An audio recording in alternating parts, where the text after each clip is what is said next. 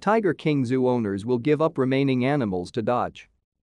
The animals remaining at the exotic animal park made famous by the Netflix docu-series Tiger King, Murder, Mayhem, and Madness will be given up, the U.S. Department of Justice ordered. Tiger King Park, owned by Jeff and Lauren Lowe, was home to numerous exotic big cats and other animals. But since the release of the show, the couple has faced numerous legal issues with the park once owned by Joseph Maldonado Passage, also known as Joe Exotic. To stay up to date with latest top stories, make sure to subscribe to this YouTube channel by clicking the button above this video. In January, the Justice Department ordered all of the big cats in the park be surrendered and be put in suitable care facilities, claiming the Lowes violated the Endangered Species Act and the Animal Welfare Act.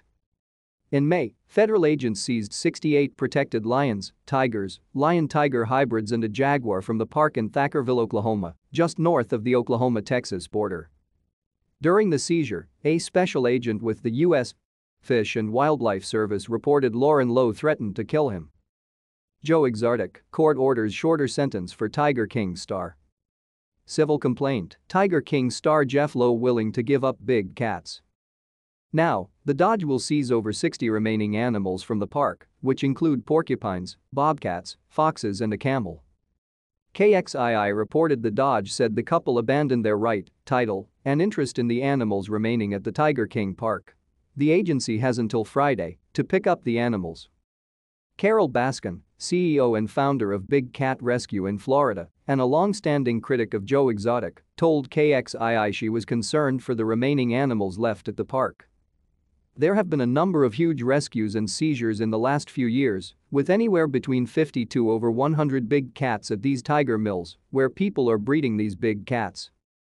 One by one, we're seeing more of these places go under or have the animals seized, and more of these animals are going to live at sanctuaries, so it's all a step in the right direction, she said.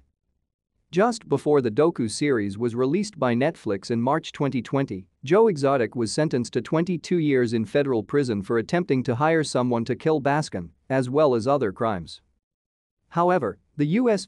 Court of Appeals for the 10th Circuit in Denver ruled in July that the 58-year-old should have received a shorter sentence, between 17 years and just under 22 years, and ordered a re-sentencing. He also has called for President Joe Biden to pardon him so he can go home and get proper medical care for prostate cancer.